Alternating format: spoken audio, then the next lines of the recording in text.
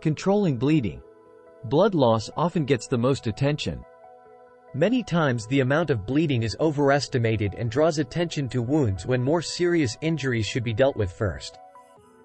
Whenever confronted with bleeding, perform a quick overview of the person to make sure something more serious is not being overlooked. Always use personal protective equipment prior to caring for an injured and bleeding person. The person can be instructed to perform some self-care while you put on your protective gear. The most effective way to stop bleeding from a wound is to apply direct pressure. Use a dressing in your gloved hand to apply firm and direct pressure to the injured area. Continue to hold the pressure until the bleeding stops. If there are multiple wounds, apply pressure dressings to the worst injuries first, and then to the lesser bleeding injuries. The person may temporarily be able to assist by holding pressure on some areas. Very small wounds such as scrapes can heal more rapidly by using an antibiotic salve. Ask the person if they have any allergies before applying the antibiotic salve.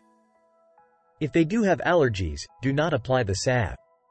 Thoroughly wash minor scrapes and abrasions with soap and water before bandaging. Massive bleeding can occur due to extreme injuries such as open fractures or deep lacerations. When direct pressure does not control bleeding, a tourniquet may be required. Tourniquets can consist of a blood pressure cuff, belt, or pre-made versions. Although commercially prepared tourniquets are more effective than improvised ones, if none is available, one can be made quickly using a piece of cloth and stick-like object.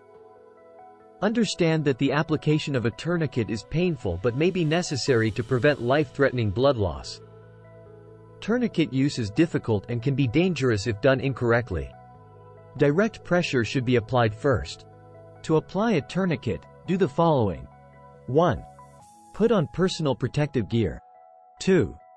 Apply a tourniquet approximately 2 inches above the wound. 3. Tighten until the bleeding stops. 4. Record the time the tourniquet was applied. 5. Call 911, EMS. 6. Stay with the person and do not release tourniquet until advanced help assumes care. Only a medical professional should remove a tourniquet. Certain situations may produce massive internal bleeding that is not visible when examining the person. This may occur from trauma, falls from a height, car accidents, or crush injuries. Penetrating injuries caused by a knife or gunshot may produce devastating internal bleeding with very little external blood loss.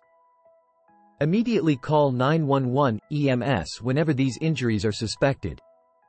Help the person lie down and remain still. Check for signs and symptoms of shock. You may need to cover the person to keep them from getting cold. Stay with them until advanced help arrives.